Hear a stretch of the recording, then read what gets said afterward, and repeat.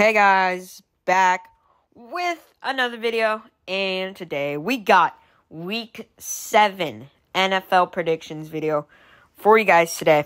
Um, another insane week in the NFL last week, and uh, we keep moving on. Week 7, how are we here already? I don't know. Don't I, I don't understand it. Anyways, uh, last week I went 13 and 1, probably my best record ever. Um, if I would have picked, if I didn't pick the upset with the Jaguars, I would have had a perfect record. It would have, it would, it would have been incredible. Um, and then uh, that brings my total season record up to sixty and thirty-two. So doing pretty good this year. Um, and then we have uh, two teams on the bye this week, including the Bears and the Cowgirls. So they will be on the bye. So we have 15 games this week. Let's get right into them. If you hear noises in the back, it'll be because of uh, Mika, my cat. So, you know, uh, what's new around here. Anyways, let's get into the game. Starting with the Thursday night matchup, you have the Denver Broncos taking on the New Orleans Saints. Um, I don't even remember what happened last week. Uh, the Broncos, they lost to the Chargers. Not really a shocker there. The Saints, they lost to the Bucks. Man, they they put up a tough fight, and then in the end, they did not. Not at all. Uh, Spencer Rattler's debut, it didn't look too bad, but then but then it didn't. It really didn't. But I think this will be a turnaround for the Saints. I think this should be a pretty easy game. Uh, the Broncos, they're nothing to be, you know, like afraid of, or they're nothing to, you know, take lightly. But I think uh, at home for the Saints here, I think it should be an easy win for them. So give me New Orleans. Uh, you got the New England Patriots taking on the Jacksonville Jaguars, or should I say the London Jaguars, as this game will be in London, uh, second week in a row for the Jags. Man, Jags, all you had to do was beat the Bears, and I would have had a perfect record. you know, that's probably my fault for picking the Bear or picking the Jags but it is what it is. Um, the Patriots, they got absolutely destroyed last week by the Houston Texans. Shouldn't be a shock there. And the Jags, obviously, like we said, took an L last week. But I think this is where it gets turned around for the Jags. I mean, they're bound to win a London game. It's in London. That's like their second hometown. So, I think they should be able to get the win here. I think Trevor Lawrence will finally get things going. He hasn't been playing bad at all but they just their their defense has been pretty pretty mediocre um at at, at best. So uh, but I think they'll finally get it going here and get a win. So give me the Jags. You got the Seattle Seahawks taking on the Atlanta Falcons. Falcons. They got the win over the Panthers last week. Shouldn't be a shock there. The Panthers, they suck. The Seahawks, they took an L on Thursday night, so they've had an extra long bit of time to get ready for this game.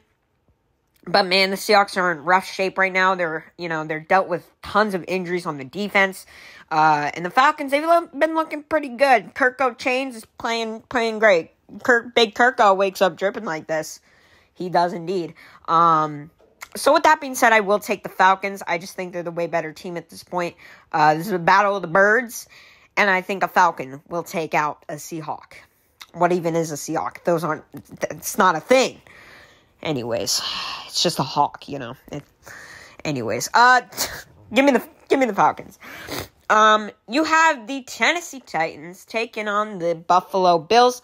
The Titans, they uh lost in a good effort. You know, they they held in against the Colts, but weren't able to get the job done because you know Will Levis. And then the Bills, uh, I don't even know if it was Will Levis's fault. I just assume. Okay. Uh, the Bills, they got a win on Monday night in a close one against the Jets.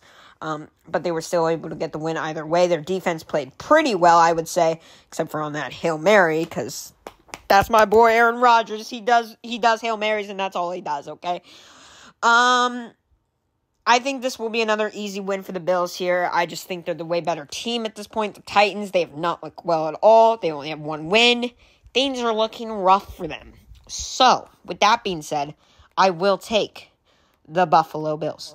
Uh, you got the Bengals taking on the Cleveland Browns, the battle of the AFC North teams here. Um, should be an interesting one. Bengals, they got a, they finally got a, a win here. Uh, this time on uh, Sunday night against the Giants. Not really a shock there. And then the Browns had taken another big L to the I don't remember who they lost to, but I know they just got destroyed. Um, oh my god, I'm thinking, I'm thinking. Let me think. I don't remember.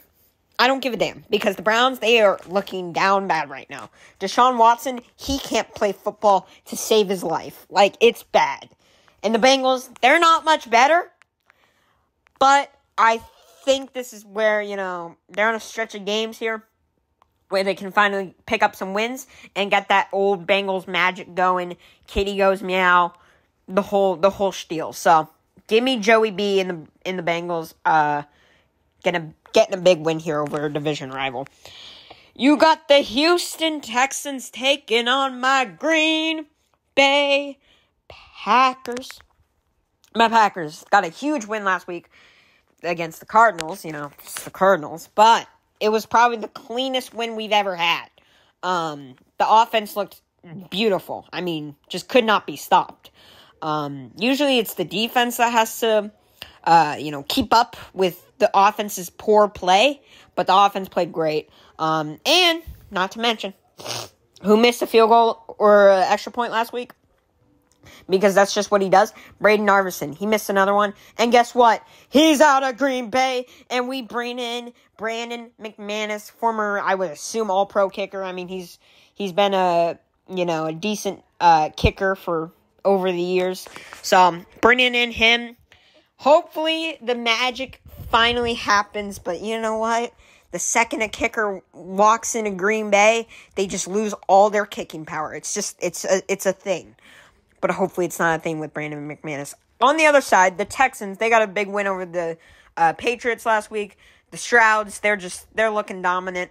Um, so man, this is going to be a tough game for the Packers. But at home, at home, uh, we're wearing our all whites, the white helmets, making their debut.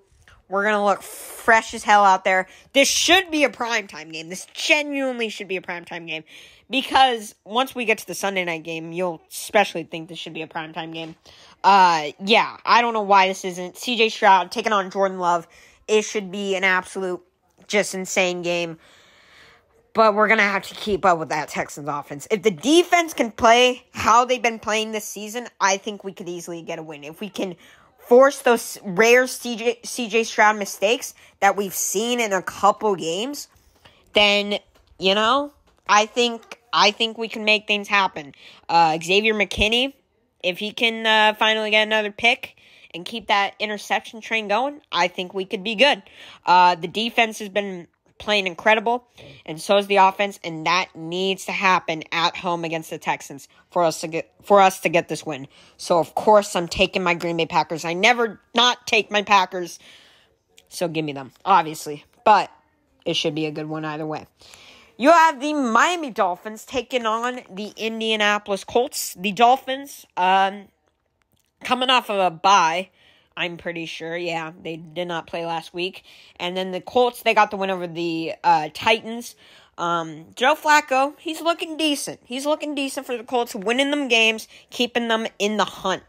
Um, and this Dolphins team coming off of a bye, you never know. They could be in a better shape but I don't think they will. They just, I mean, yeah, they have Tyreek Hill, they have all these weapons, but they're dealt with the injury bug like crazy. Obviously, Tua still going to be out, of course. I think.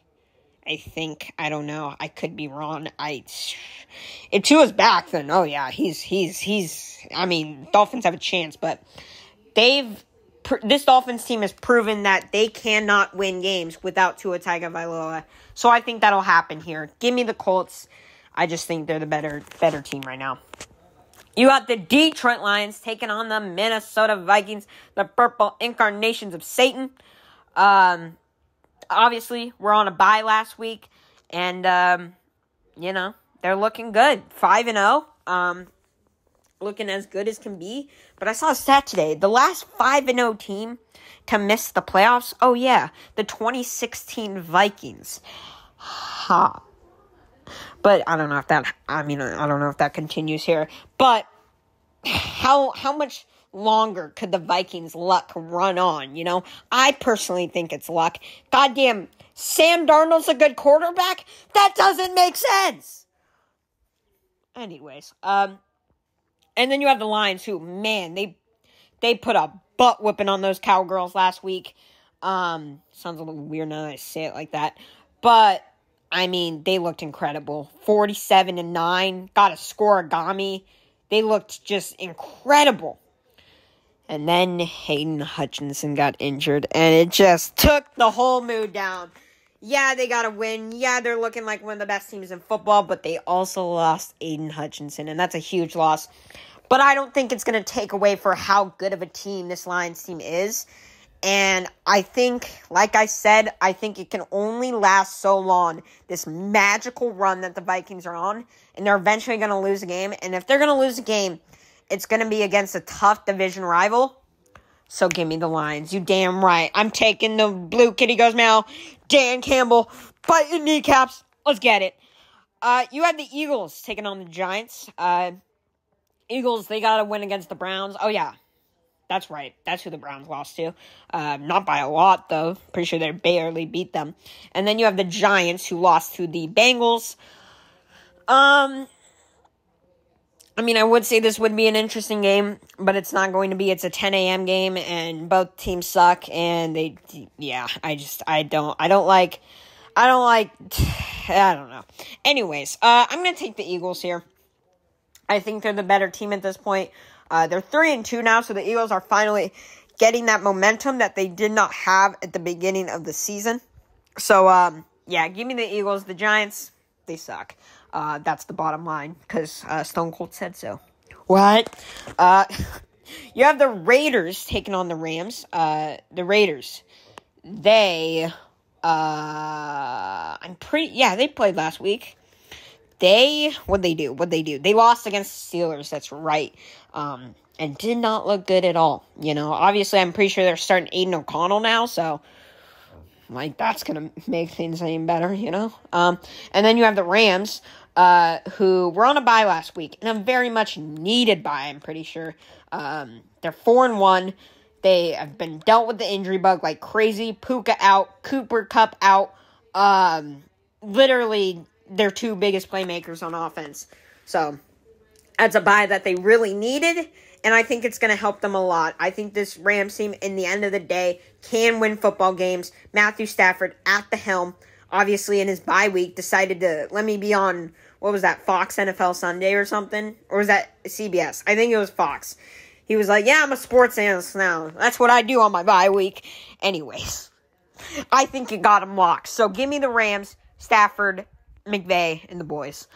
Uh, you have the Panthers taking on the Commanders. Uh, Panthers, they lost, no surprise. Commanders, they lost in a close one against the Ravens.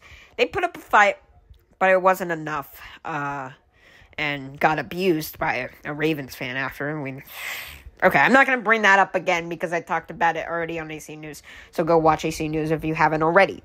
Um, Jane, either either way though, even with the loss, the Ravens, they're a really good team, dude. They're a really good team, and nothing that they should hang their hat on. And it's the Panthers they're playing this week, so that's what they need. Jayden Daniels, I think he's going to take out all that aggression and uh, just, just abs. They might win a hundred to nothing, legitimately. Give me the Commanders. uh, you have the Kansas City Chiefs taking on the San Francisco 49ers, the Super Bowl rematch you know, again, um, you have the Chiefs who were on a bye last week. Um, they're 5 and 0, can't be beat. And you have the Niners who are on kind of a mini bye, so it kind of helps. They obviously played on Thursday night, so you know, I guess I guess it works. Uh, and absolutely destroyed the Seahawks. Uh, you know, the Seahawks kind of almost came back last second, but it was really nothing. And the 49ers offense looked dominant. They did kind of almost lose Jordan Mason at the end of the game. It looked rough, but dude, they just, I swear to God, they just be pulling these running backs out of a goddamn hat or something. Like, where do they get them? I don't understand. Um, yeah, this 49ers offense obviously dealt with a lot of injuries, but I think they're still one of the best teams in football. I said this last week. I think I said this the week before. This 49ers team, it doesn't look like it can be stopped, but neither can this Chiefs team. So, I don't want to get my emotions ahead of this game, but I'm going to, okay? I personally think, I mean, I personally think, how do I word this the right way? I personally don't think the Chiefs should be 5 0 right now. They have gotten really lucky, beaten some bad teams in close games. So give me the San Francisco 49ers. I think the 49ers are going to take that revenge. It'll be their revenge game for the Super Bowl. And it's a game that they really need to win at home. Afternoon game. Give me give the give me the Niners. I'm taking them. Screw it. Uh you have the Jets taking on the Steelers. Um Jets. They lose on Monday night in a close one against the uh against the Bills. Uh, but then morning after, literally the morning after, Davante Adams shows up to the Jets facility and he's a New York Jet baby. The New York Packers are here and they're here to play. You'll love to see it. Davante Adams finally getting out of Vegas, much needed. I think this move should have happened in the offseason. I don't know why it didn't. I don't know why it took them this long to do it. But either way, the Jets, they got Tay yes, I know it won't make won't make the world go round, but I mean, if you have this connection with Aaron Rodgers, obviously we know they're um they quarterback and wide receiver duo uh some of the most chemistry we've ever seen in a duo like that in NFL history. That's a non-biased Packers fan right there, totally. And um, I think it'll make the world go round because you have Garrett Wilson, who now moves to the slot. He won't have to uh, be pressured with getting, you know, 20 plus targets a game like he's been getting. Uh, obviously, as a Garrett Wilson fantasy over, I, I love that. I loved that, and now I don't as much. But now I think it gives it gives this Jets offense way more dynamic ability to obviously lift some of that uh, targets off of Garrett Wilson Garrett Wilson will go to the slot. Maybe Garrett Wilson will get more touchdowns. I just think it'll be better for this Jets team in the long run. And then you have the Steelers, who are now starting Russell Wilson. And I already went on my rant about why they shouldn't start Russell Wilson in AC News. So go watch that because I don't want to. I already explained a lot of the Jets stuff. So this video I feel like has been long now. Um, Give me the Jets. I don't give a damn if the Steelers have been good and the Jets haven't. I think the Jets, they looked really competitive with the Bills until the very end. So, on Sunday night, this game should not be on Sunday night. I want to point that out there. It should be Texans Packers. Why? Why? Anyways, give me the Jets. Give me Davante Adams and Aaron Rodgers. The boys are back in town, baby. Except in New York, you know, different different things. Um, you have the Baltimore Ravens taking on the Bucks here on Monday Night Football. We actually have two Monday night games. The Ravens obviously getting the win over the Commanders um, last week, like I said, and the Bucks got a huge win over the Saints. Um, this Bucks team, this Bucks offense looking dominant, but honestly looking even more dominant is this Ravens offense with Derrick Henry, Lamar Jackson. I mean, I've talked about it every week, but I feel like they're arguably the best offense in football. That's my personal opinion. But this Bucks offense, nothing to write home about. They're still incredible, but I just don't think they have the star power that this Ravens team does to keep up with them. So give me the Ravens. It'll be close. I think the Bucks could easily win but I'm still taking the Ravens. I just think they're the better team at this point. And close it out on ESPN Plus, apparently. Okay, no one cares. You have the Los Angeles Chargers taking on the Arizona Cardinals. Cardinals lost last week. Like I said to my Packers, you'll have to see it. Kyler Murray, you suck. You're terrible. Uh, although he didn't throw any picks, so he didn't play that terrible. Um, and then you have the Chargers, who got the win over the Broncos last week. This Chargers offense looking looking pretty good. You know, Justin Herbert, J.K. Dobbins, Jim Harbaugh at the helm, looking really good. Um, man, this will be an interesting game. Uh, but I don't. I don't think the Cardinals have much of a chance. I think the Chargers are just a way better team at this point. So give me the Chargers. All right, that'll be it. This that oh my god, I'm I'm I'm I'm not functioning right now. I don't know why. Anyways, that'll be it for this video today, guys. Uh, I feel like this was a longer one than it needed to be. I gotta edit it, get it up to you, literally because I'm recording this on Thursday afternoon. So, you know, I'm a last second person. Okay. Um. All right. Hope you guys enjoyed this video today. Please comment, like, subscribe, and hit that notification bell so you know when I post a new video. Bye, guys.